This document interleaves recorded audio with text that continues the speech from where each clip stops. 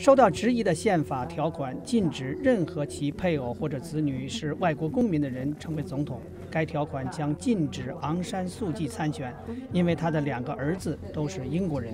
这位诺贝尔奖得主星期天在接受《美国之音》缅甸语独家采访的时候表示，他和他的支持者继续游说变革，这至关重要。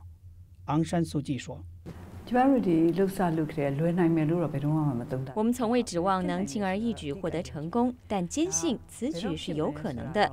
问题是什么时候？宪法修改的越早，对国家就越好。为了国家的进步，我们需要拿出改变一切旧习的勇气和能力。昂山素季还说，他所领导的全国民主联盟准备为全体缅甸人民在这个问题上争取发言权。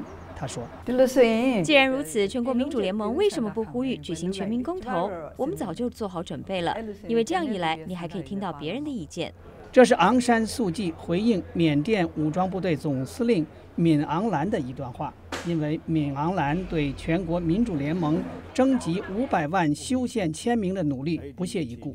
这位军方将领星期六罕见接受美国之音独家采访的时候说：“有争议的这项宪法条款。”并非针对昂山素季，他说：“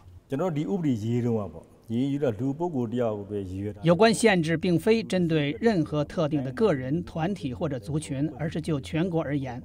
另外一个问题是我们必须考虑从独立前到目前的整体形势。由于我们是人口极其众多的国家之一，因此存在大量的移民问题。”上个月，缅甸十四位政治反对派人士和军方领导人举行了一次前所未有的会谈。